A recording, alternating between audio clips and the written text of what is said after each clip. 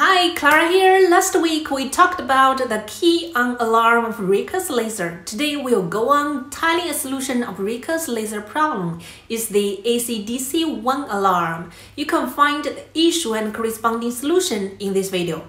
If you're first time being here, please don't forget to subscribe to this channel, give me a like and share the video. It's important to me. Thank you. Let's get started.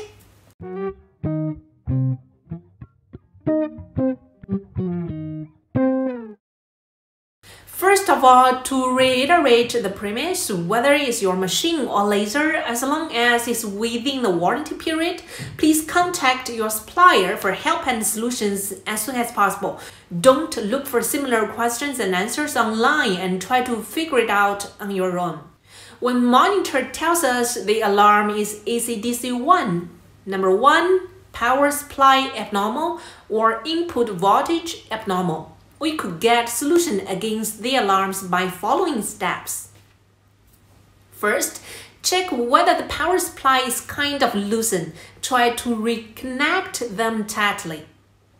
Second, check whether the ground wire or PE is well connected.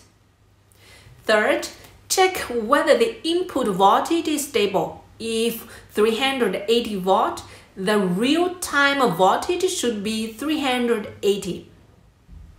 Fourth, if the alarms appear after a while of cutting, turn off the laser and then power on it again. We can make cutting again. We need to check the water circuit, whether there's blocking somewhere. Thanks for watching. Please leave your comments below if you have any questions. See you next week. Bye. The next step is to check product brochure and see what we could offer you.